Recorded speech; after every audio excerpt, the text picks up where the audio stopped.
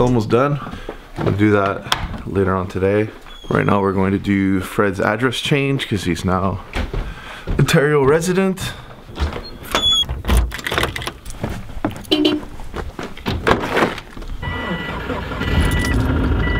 Ooh, that knocker, knocker, knocker, knocker.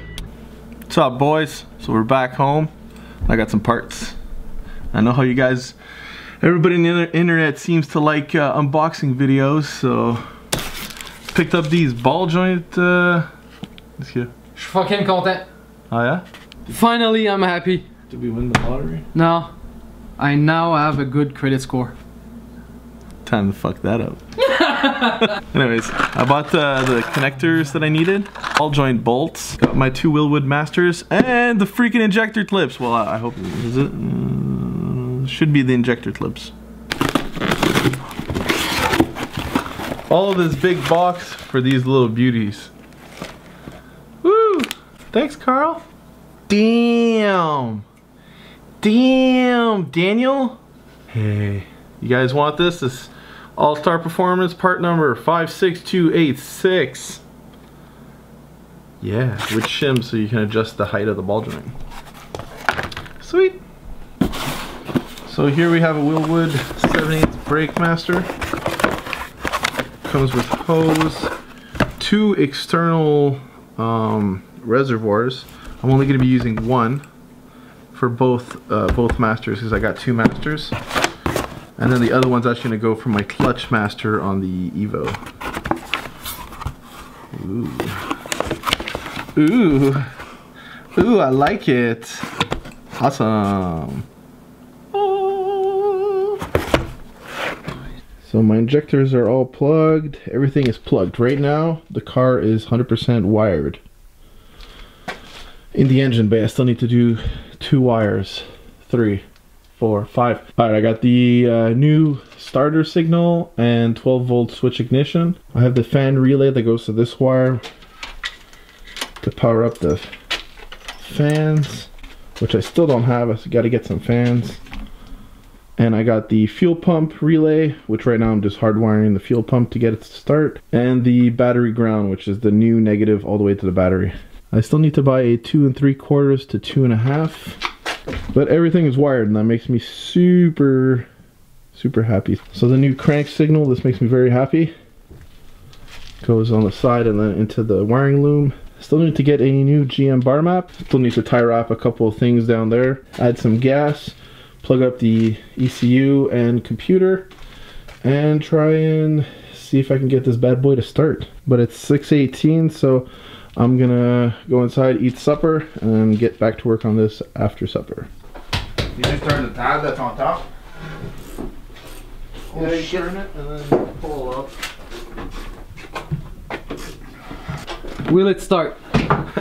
Got the wiring all done. Went to pick up some gas. T'as une maladie qui me calme à boire du monde. T'es whack. Probably.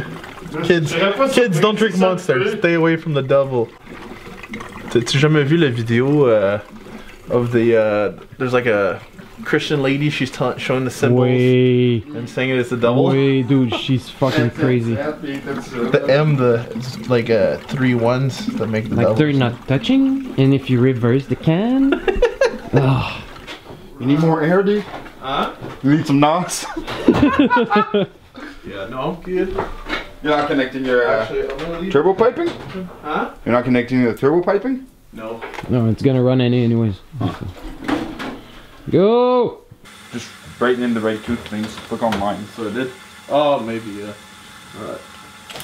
We're getting know what- closer! Do you know what all your teeth uh, are?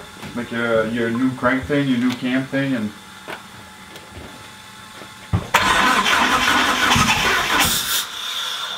it's better than before. It blew over a thing, or? No, didn't blow a hose. Alright guys, it didn't start, we're getting closer. There's something to do with the cam and crank uh, wheels. And uh, I also have to add an engine ground. That's why the starter wasn't turning at first. We figured that out. Uh, I figured that out. Yep, Gab figured that out. I bought these ball joints. And we'll see if I have to run uh, extended control arms. I'll probably do that uh, sometime this week. But we're getting closer. At first, it was firing back into the intake and popping this off and this. I have to get clamps actually. The couple of days later, I've been having a lot of trouble trying to get this little bad boy to fire. Uh, my wiring harness is all good. Everything is good. It's picking up all the cam and crank signals.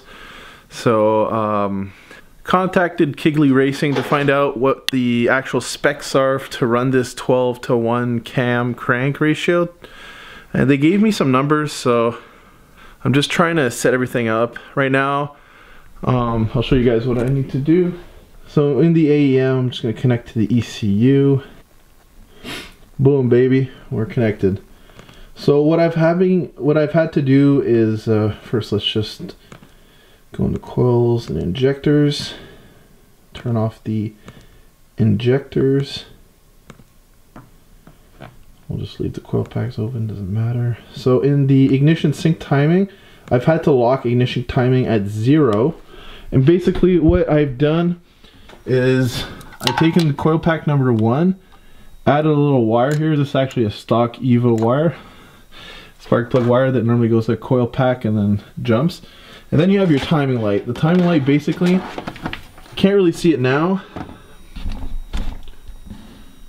but on your crank you have a top dead center and then here you have uh, top dead center 5 degrees before top center 10 degrees so you got to lock the ignition timing at zero which I've done and then you put the timing light on the first cylinder then you crank it over and the timing light will shine and then you play with the adjustment you either advance or retard the timing until this little line here that's on the crank line, lines up with that one. I'm just going to take a little video. Oh, I'm to try.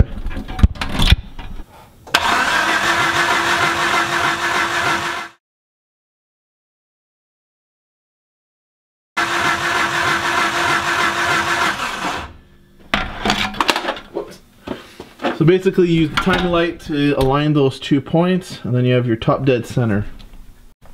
Alright, another thing that I've done is I went ahead and I bought new spark plugs. And also I was looking at my tune and I came across something. Basically, I had coils one, two, three, and 4 popping off exactly how the instructions told me to do, which was on tooth 0, coil 1 pops, tooth 18, coil 2 pops, and by coil, so one, two, three, four. But then I remembered, hey, Evos have sequential uh, popping. So basically, cylinder one and four fire at the same time, and then two and three fire at the same time. And the way it was working is for every stroke, instead of popping one and four, it was doing one, then on the next stroke, four, one stroke, one, uh, two, next stroke, three, when they should be popping at the same time. So basically, the engine was running on two cylinders every single time I was cranking. So I came up with this plan. Instead of uh, wiring them in dual, is I made all the coil packs. So coil number one fires on on two zero and 12. Coil number four sparks on coil 12 and 8, uh, 12 and 0. And for coil number 2, fires on 18 and 6. And coil number 3 fires on tooth 6 and 18. So that makes them sequential. So 4 and 1 will pop at the same time and 2 and 3 will pop at the same time. And hopefully that's my problem. Because uh, it feels like it was flooding like right away, which makes super sense. Like a lot of sense. I'm just to gap these spark plugs, then we'll try and uh, fire up again. And hopefully uh, my tune was be good. I did notice I went through the footage and that the timing isn't 100% exact. So if it starts, it's to run really, really poorly, in my opinion. It might be a little bit too much advance. But I, am alone right now and I can't really do both. And also might have been camera angle because it was to the side and not completely in the front. Um, but yeah, so that's what I'm to do.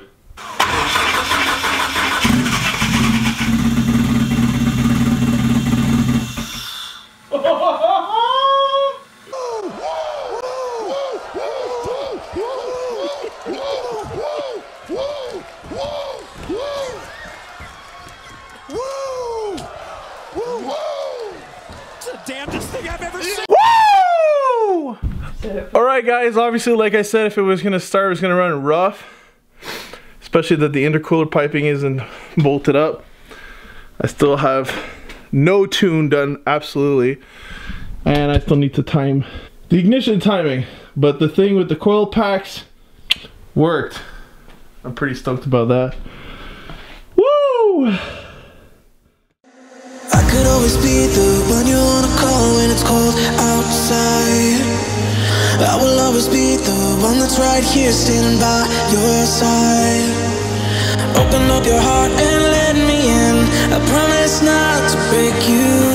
I promise I'll be all, all that you want. So let.